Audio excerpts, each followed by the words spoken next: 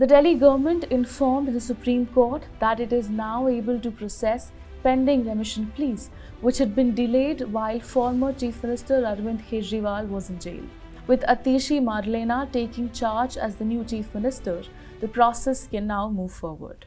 A bench of justices Abhay Oka and Pankaj Mithal was hearing a writ petition by a convict seeking remission.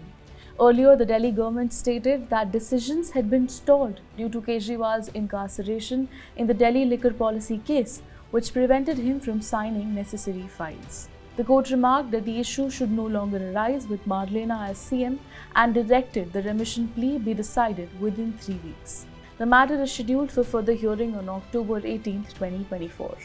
Kejriwal had recently been released on bail and resigned as Chief Minister, with Marlena taking over. To read about this news in detail, click on the link in the description and for more such legal updates, please follow LiveLaw.